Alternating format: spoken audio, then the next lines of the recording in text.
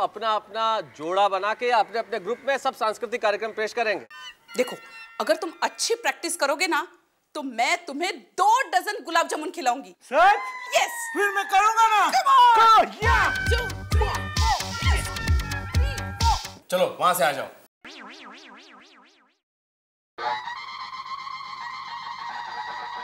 तिलक करो। आरती उतारो। हाँ। ये गाना बजेगा। शूर आम्ही सरदार आम्हाला काय कुणाची भीती। ए माधवी! माधवी माधवी उसको निकाल उसको निकाल। अरे सोचते क्या है? चल।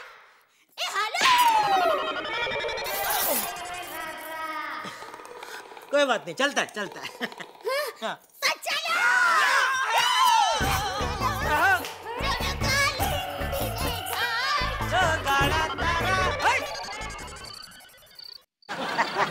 अरे किस बात पे हंस रहे हो भाई? डॉक्टर हाथी को देखिए। क्या डॉक्टर हाथी आपके लिए तो स्पेशल बेंच मंगाया है।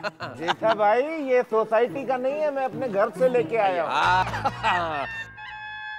चलो प्रोग्राम शुरू करते हैं। एक मिनट भाई।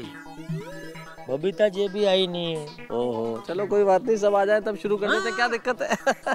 और बाद में उनको एक कॉकरोच दिखा। तो इतने घबरा गए कि बेंच पर ही चढ़ गए। कैसे है? तैयारी कैसे की है? हाँ अच्छी है। वैसे सजावट अच्छी हो गई हाँ सब बहुत बढ़िया। फ़र्स्ट क्लास हो गया। मेहता साहब चलो कार्यक्रम शुरू करते चलो। अरे भाई सबको पहले हाथ तो जाने दो। देखो कोई वक्त पर आए ना आए कार्यक्रम वक्त पर शुरू होना चाहिए। शिस्त नाम की कोई चीज़ है कि नहीं? क्या तुम जब देखो तब शिस्ता सिस्ता की पुंगी बजाते रहते हो हैं? ये तुम्हारा ट्यूशन क्लास नहीं है सोसाइटी का कंपाउंड है। और हम लोग तुम्हारे वो विद्यार्थी नहीं है? हम लोग बड़े सब वो है मेंबर लोग सोसाइटी के। जब देखो तब गलत ही बात करता है। क्या गलत क्या बात की मैंने हाँ? एक तो बताओ। अरे एक क्या दस बता सकता हूँ तुमको? हाँ तो बताओ। अरे एक।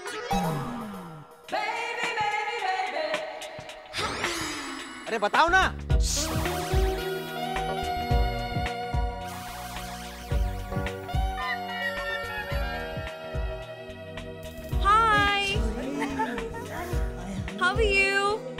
Babita ji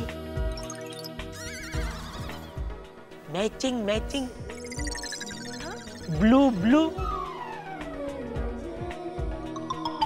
आज तो आप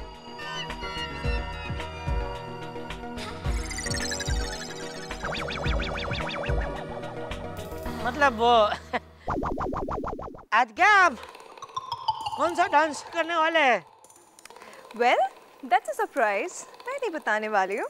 चलेगा सीक्रेट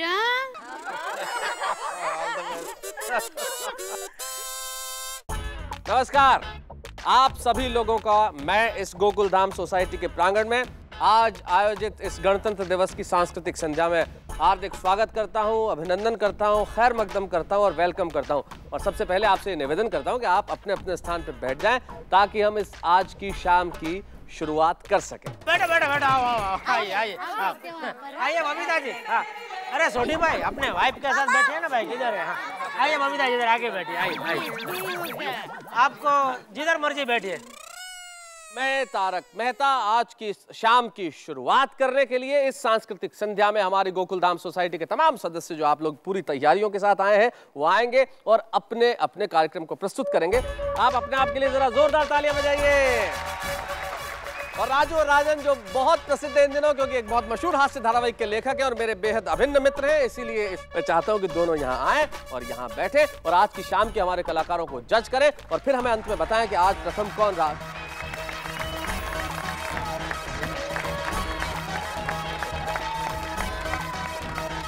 और राजू और राजन साहब, मैं आपको आगाह कर देना चाहता हूँ, जजेस की कुर्सी संभालने के पहले कि ये कोई आम मुकाबला नहीं है। दो देशों का मुकाबला भी इसके आगे फीका है, जो गोकुल धाम सोसाइटी में मुकाबला होता है। आज आप कंपटीशन को जज नहीं कर रहे हैं, आप परमाणु बम के ऊपर बैठे हुए हैं। इसलिए जरा फैसला सोच समझ के हो, क्योंकि यहाँ धमाके होने की संभावनाएँ ज़्यादा होती है। आइए, हम इस आज के कार्यक्रम की शुरुआत करते हैं, और कार्यक्रम के प्रारंभ में सबसे पहले मैं जिसे बुलाना चाहता हूँ, मैं उसका नाम नहीं बताऊँगा। क्योंकि वो हमारे बीच में हमारी सोसाइटी से बाहर आए और जजेस आपके लिए ये कंपटीशन में शामिल नहीं है। लेकिन हमारे आग्रह पे इसमें आए हैं। वो जब यहाँ प्रस्तुत करेंगे अपना कार्यक्रम तो आपके पास तालियाँ बजाने के सिवाय और कोई चारा नहीं होगा। क्योंकि तो किसी ने ठीक कहा है, ज़िंदगी क्या है? जो गालियाँ ही तो हैं, और सहने को, गम खाने को गालियाँ ही तो हैं। और इन कलाकारों का सम्मान क्या? पैसा न सोना, आपके दो हाथों की तालियाँ ही तो हैं। जरा जोरदार तालियाँ बजाइए। बबीता जी हाँ वही कौन हो सकता है? क्योंकि एक तो अपने सोसाइटी का तो है नहीं। हाँ। और ऊपर से हमारे निकट है। अभी मुझसे निकट तो आप ही है। दूसरा ये कौन है? देखना पड़ेगा। देखते हैं ना जेठा जी क्या होता है। हाँ हाँ देख देख।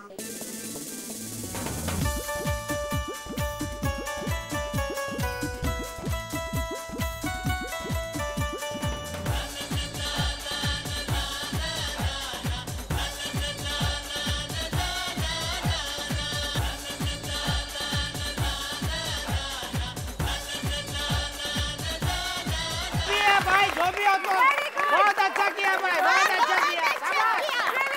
अगर 26 जनवरी की शाम की पहली ही प्रस्तुति इतनी धमाकेदार हो तो आप सोच सकते हैं कि आगाज़ ऐसा है तो अंजाम कैसा होगा लेकिन उसके पहले अरे लेकिन ये कौन है? कौन मेहता साहब? अरे कौन? अरे कोने कोने क्या है? ये तो सर्कस का जोकर है। ये हैं आपके अपने अब्दुल। अब्दुल है वाह, वाह, वाह, वाह, वाह, वाह। अरे वाह अब्दुल तू तो छुपा रुस्तम निकला है बहुत बढ़िया किया अब्दुल बहुत बढ़िया किया तूने। ए भाई इस बात पे तो हम सब अभी तुझे सोडा पिलाएँगे। क्यों नहीं क्यों नहीं? हाँ अब्दुल और पैसे भी नहीं लेंगे तुझसे। बैठ जा भाई बैठ जा ये, ये।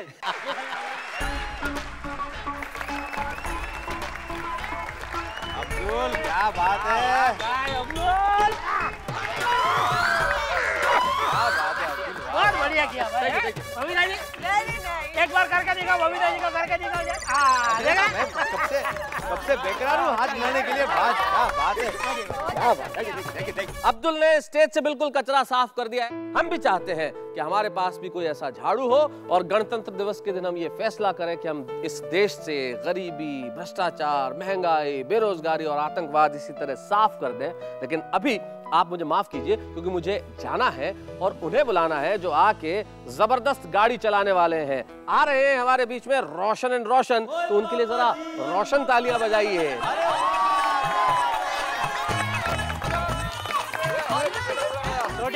डरना माता बिंदास करना।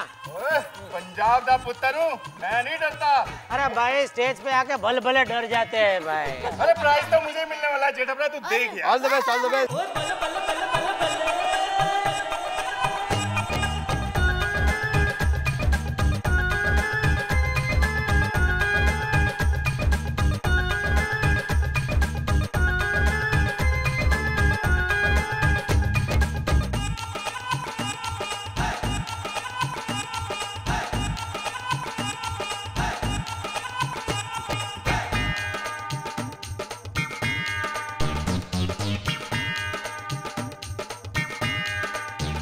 आइए अब इस गैराज से हम बाहर निकलते हैं और बुलाते हैं उन्हें जिनके आने के पहले मैं आ, स्टेज की मजबूती देख लेना चाहता हूँ क्योंकि आ रहे हैं डॉक्टर हंसराज हाथी।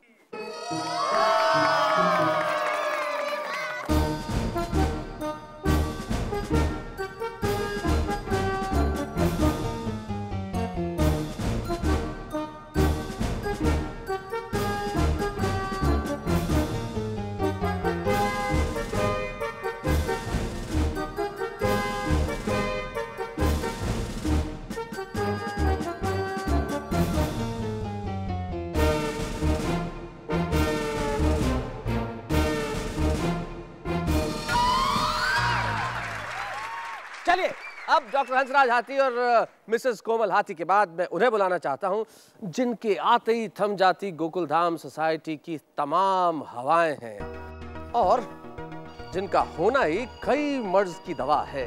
वो हमारे बीच में आज उपस्थित है। दोनों का संगम बड़ा कमाल का है, क्योंकि बबीता जी बहुत खूबसूरत है।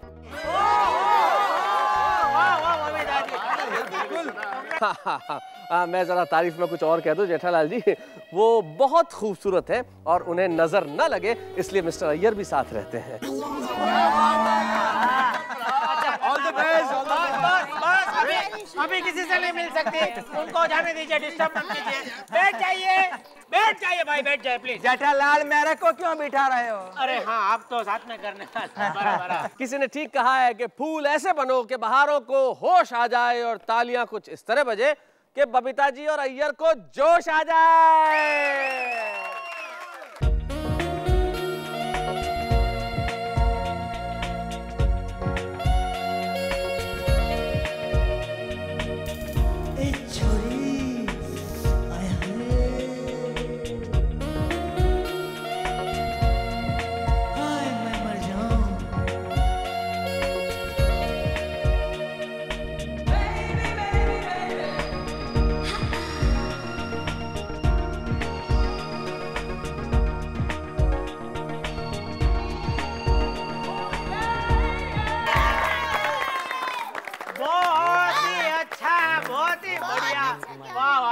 आइए संभल संभल के आइए। एक मिनट आप आराम से आइए। हाँ, आइए आइए। क्या मतलब क्या गाना आपने वो सिलेक्ट किया है? वाह वाह वाह वाह। क्या कहूँ मेरे पास शब्द नहीं है इस प्रस्तुति के बाद प्रशंसा करने के लिए लेकिन एक बात ज़रूर तय है कि संगीत की कोई भाषा नहीं हुआ करती। बहुत सारे लोग हम में से ऐसे सोसाइटी में इस वक्त जिन्हें बांग्ला समझ में नहीं आती। मुझे भी नहीं बोलनी आती समझ में भी नहीं आती।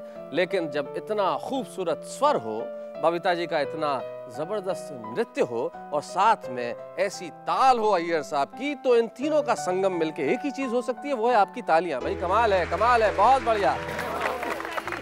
माधवी अगला कार्यक्रम हमारा है। हम्म, जैसे ही हम स्टेज पर जाएँगे तुतारी बजने के बाद गाना शुरू होगा। की अमी सरदार है। अम सरदार के बाद तुम्हें मुझे तिलक करना याद है ना? और हमारे प- क्या पच्चीस क्या। पच्चीस बार बता चुके हो। और पच्चीस बार रिहर्सल भी करवाई है ये समागम था हमारे पश्चिम बंगाल का और दक्षिण भारत का और सामने सुनने वाले आप लोग थे जो कोई महाराष्ट्र से था, कोई गुजरात से था, कोई पंजाब से था, लेकिन सबके दिल की आवाज़ एक ही थी, भाई वाह, कमाल कर दिया आप लोगों ने। और अब अगला कमाल करने जो आ रहे हैं, वो हमारे मराठा सरदार हैं और हमारी गोकुल धाम सोसाइटी के परमानेंट शिक्षक हैं, श्री आत्माराम भिड़े और उनकी अर्धांगिनी श्रीमती माधवी भिड़े का। जरा जोरदार तालियाँ बजाइए। भिंडी मास्टर। चलो। भिड़े मैं अभी भी बोलता हूँ वक्त है समझ जा कोई फ़ायदा ही नहीं करके भाई। बबीता जी ने सिक्स मार दी है बॉल स्टेडियम के बाहर चला गया है। सब करें, जाओ, जेठालाल जाओ। मैच अभी बाकी है पूरा नहीं हुआ है। अब देखो हम लोग जाके क्या करते हैं। हाँ, हाँ। हाँ, एकदम जोश से करना हो।